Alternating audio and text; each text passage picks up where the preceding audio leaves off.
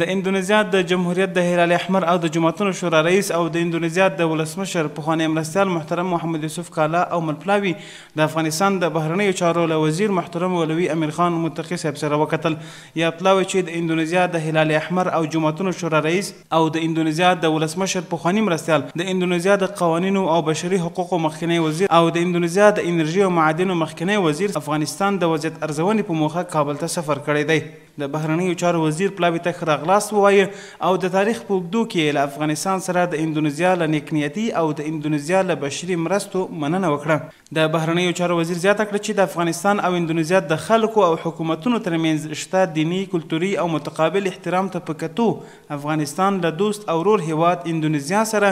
د اړیکو د ټینګښت او پراختیا غوښتونکی دی. متقي صاحب وویل، له پنځه څلوېښت کلنې جګړې وروسته په افغانستان کې امن راغلی او د انرژۍ، کانونو، کرنې، سړک جوړونې، صنعت او بېلابېلو برخو کې د سوداګرۍ او بهرنۍ پانګونې لپاره ښه فرصتونه رامنځته شوي دي. له نړیوالې ټولنې سره د افغانستان اړیکې مخ په پراخېدو دي او له ګاونډیو او سیمې سره یې ښې اړیکې ساتلې دي. افغانستان لېواله دی چې د جنوب ختیځې اسیا له هېوادونو سره هم خپلې اړیکې پراخې کړي. افغانستان د خپل ستراتیژیک موقعیت په پام کې نیولو سره د منځنۍ او جنوبي اسیا ترمنځ د سوداګرۍ، پانګونې او ترانزیټ په برخه کې اسانتیاوې رامنځته کړي او اوس د سیمې له هېوادونو سره په همکارۍ په سترو سیمه ییزو اقتصادي پروژو کار کوي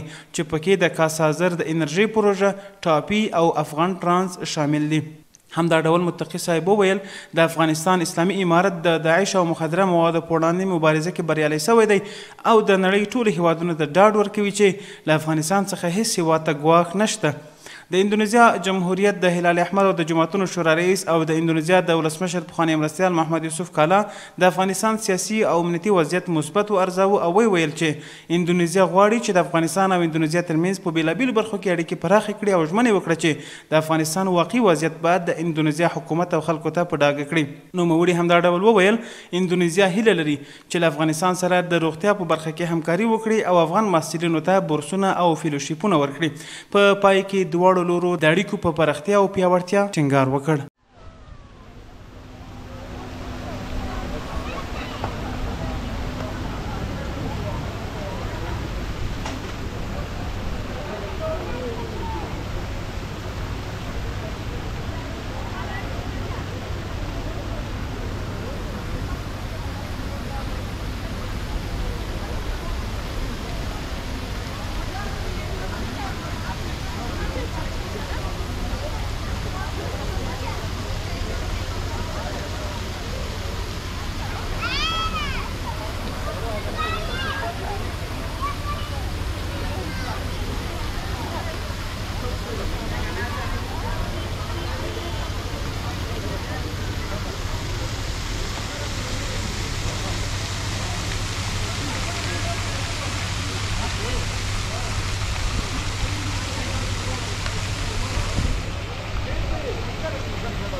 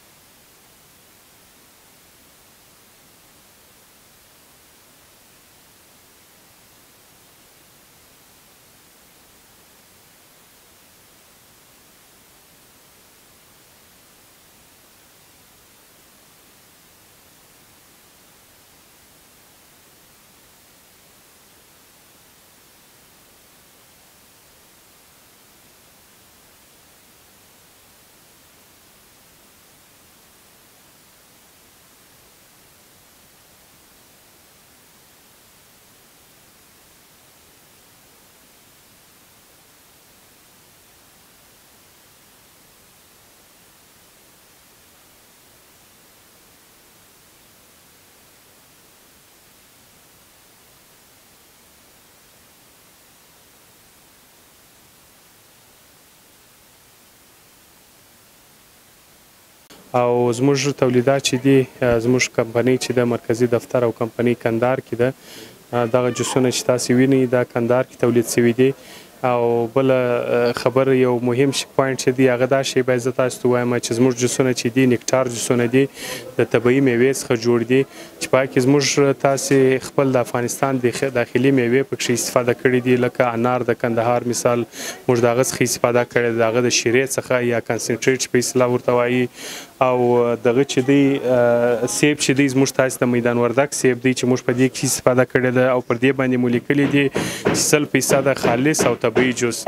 نو موږ د خپلو مېوو څخه استفاده کوو په جوسونو کې او د دې تر څنګ موږ تاسې نارنج لرو چې هغه په لوم کندهار او جلال اباد ته مېوې لري او موږ د هغه څخه مثال په دې جوسونو کې استفاده کړې ده نو اوس فلال موږ دلته مارکیټ چې مو دی د افغانستان داخلي مارکیټ لوکل مارکیټ لپاره کار کوو او ان شاء الله راتلونکي وختو کې موږ ایکسپورټ هم غواړو چې ولرو نور ملکو ته یوازې تاسو نمایندګي په کندهار کې یا ټول ولایتو کې تاسو نمایندګي لري د دې شرکت؟ نه زموږ کمپنۍ چې د فابریکا تولیدات مو ټول په کندهار کې کیږي بیا موږ خپل د پخش سیستمونه لرو په ټول افغانستان کې کابل کې لرو هرات کې لرو مزار کې لرو جلال آباد کې لرو او نور کوچني ولایتو کې بعض کې لرو بعض کې ان شاء الله راتلونکي کې فعال کوو څومره خلک ستاسو محصولات خوښوي څومره خوښ کړي؟ ولا خلک راضي دي زموږ د محصولاتو څخه یو شی باید وویل سي چې موږ د افغانستان د اسلامي امارت څخه دا تقاضا ده چې هغه کمپنیانې یا هغه فابریکې چې دلې داخل د افغانستان کې په صنعت باندې بوخت دي یا کار کوي د دوی څخه موږ دا تقاضا ده چې دوی باید د هغه کمپنیانو مثال پر سټنډر رالات باندې کار وکړي تر څو پر دوی باندې یو څه کویدات وضع شي تر څو دوی داسې یو شی جوړ کړي چې هغه موږ په لوکل مارکیټ د افغانستان هم په افتخار سره استفاده ځنې وکړو او د هغه تر څنګ یې موږ صادر هم کړو د افغانستانه څخه نورو ملکو ته. دا راته وایه چې د دې قیمتونه څومره دي یا یا د خارجي تولیداتو څخه لوړ دي که کښ؟ نه قیمتونه چې دي هغه مناسب قیمتونه دي یعنې زموږ د خلکو ان شاءالله وس په رسیږي او په ښه کیفیت باندې موږ دا شی جوړ کړی دی نو دولت ان شاءالله موږ دا تقاضا لرو او امید لرو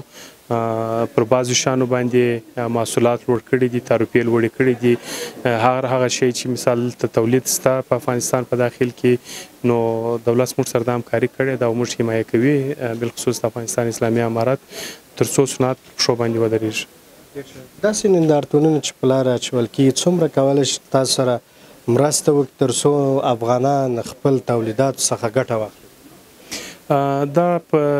نندارتونونه چې دي په افغانستان کې دا ډېر یو موثره شی دی یوازې په افغانستان کې نه بلکې په ټول دنیا کې دا شان جوړیږي داسې پروګرامونه جوړیږي ترڅو هر هغه څوک وکولای شي چې خپل د خیلی تولیدات و خلکو ته د نمایش لپاره وړاندې کړي او دلته یوازې دا نه چې د افغانستان داخلي خلک راځي په دا نمایشګاو کې ګډون کوي دلته موږ وینو اکثره خارجي کسان هم راځي چې هغه مثال ټوریسټي کسان چې دلته د میلې لپاره راځي یا مثال تجارت لپاره راځي هغه هم دلته راځي ګډون کوي او موږ دا خپل تولیدات دوی ته وړاندې کوو ترڅو موږ یو لار پیدا کړو چې خپل تولیدات داخلي تولیدات افغانستان موږ ته دنیا تر یو کونجه پورې ورسوي څومره امارت تاسو سره مرسته کوي الحمدلله بیخي ډیر حمایه کړي یو بالخصوص د برق په بخش کې وختي کندهار چې وو د برق څخه بې برخې وو اوس الحمدالله برق موږ لرو لکه هرات چې لري مثال کابل چې لري نو د برق د خوا څخه موږ بیخي الحمدالله په ښه حالت کې یو او تعرفي او دا شیان چې د صنعت په بخش کې مطلب موږ سره ډېره همکاري کړې ده مننه ورور دا هم راته ووایه چې اوس زموږ ډېری تجاران یا سرمایه داران پانګوال په خارج کې دي اوس وخت نه دی چې راسي خپل وطن ته دلته پانګونه وکړي. بلکل د هغو لپاره ښه فرصت نن ورځ برابر دی الحمدالله امنیت راغلی دی جنګ نشته او اقتصادي حالت د خلکو ښه دی او انشاالله مخته به هم ښه کیږي نو د ټولو تجاران څخه مو دا خواهش دی چې راسي په خپل ملک کې سرمایه ګذاري وکړي خپل ملک کې انویسټمنټ وکړي تر څو موږ تاسې خپل ملک په خپل پر پښو ودرو یعنی نړیوال یا د نور ملکو خلک نس کولای چې دلته راسي موږ د پاره کار وکړي او زموږ ملک تر یو ځای پر ورسي نو هر هغه ملک چې جوړ شوی دی هغه د خپل ملک خلکو هغه ملک پر پښو درولې دی او کار ورته کړی دی خپل د کمپنی تاج وطن تولیدي کمپنی څخه تاسو ته وطنوالو ته څه داد ورکوي او ولس ته څه پیغام لرې چې له تولید څو محصولات چې په افغانستان کې تولیږي باید ګټه واخلي که نه؟ و د خلکو څخه هم دا تقاضا ده په ځای د دې چې تاسو د خارجي شانو څخه استفاده کوئ زموږ مثال هغه پیسې وځي د ملک څخه هغه جنسونه راځي نو د هغه پر ځای موږ د خلکو څخه دا تقاضا ده چې تاسې د خپل وطني تولیدات څخه استفاده وکړئ ترڅو زموږ کمپنیانې هم پر پښو باندې ودریږي داخلي فابریکې او د هغه ترڅنګ په هره فابریکه یا په هره کمپنۍ کې د پنځوس څخه در پنځه سوه پورې خلک په کار باندې اخته کېدلای شي د هغو فامیلونو ته ګټه رسیږي